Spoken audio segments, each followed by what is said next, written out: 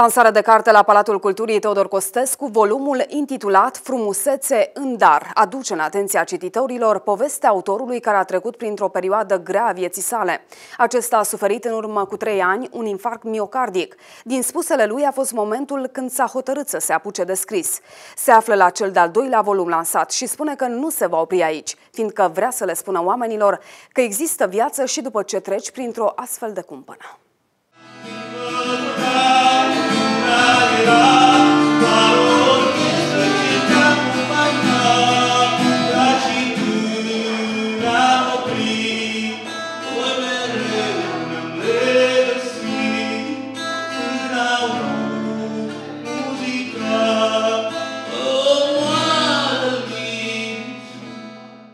Lansarea de carte ce a avut loc la Clubul Artelor de la Palatul Culturii Teodor Costescu a început cu un moment de muzică contemporană. Scriitorul Marius Ghidel a creat special acest moment pentru a bucura publicul prezent.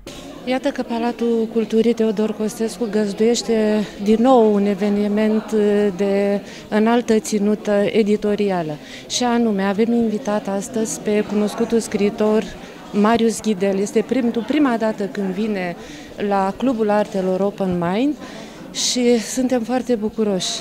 Este un scriitor care are predilecție către spiritualitate și, așa cum spune în cărțile dumnealui, trebuie să învățăm despre cum să ne găsim calea către fericire prin spirit. Marius Ghidel a trecut prin momente grele în viață. Acesta a suferit un infarct miocardic și acela a fost momentul când s-a hotărât să se apuce de scris.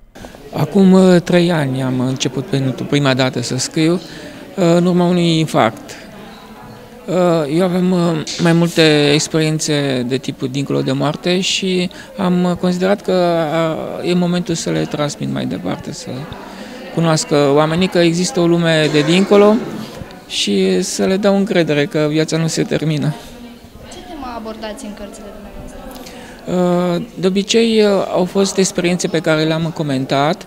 Ele sunt de tip dincolo de moarte sau moarte clinică dar sunt și întâlniri cu alte ființe sau obiecte zburătoare neidentificate. În seara aceasta lansăm uh, uh, la Drobeta Turnul Severin, uh, în această minunată sală, Open Mind, un autor care rădăcina aici, în Drobeta Turnul Severin, în sensul că părinții lui s-au născut aici, iar el și-a petrecut copilăria aici. Este vorba despre Marius Ghidel, căruia îi lansăm cea de-a doua carte, Uh, se numește Frumusețe uh, în dar, uh, carta.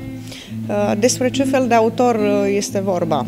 E un autor pe care mă, hai să nu spun mă mândresc, dar mă bucur că l-am descoperit, că l-am lansat și că sper să fie o persoană, nu atât o persoană, mai degrabă un maestru spiritual. Scriitorul a publicat deja două volume și spune că nu se va opri aici. Următoarea carte pe care o va lansa se numește Secretul Mulțumirii.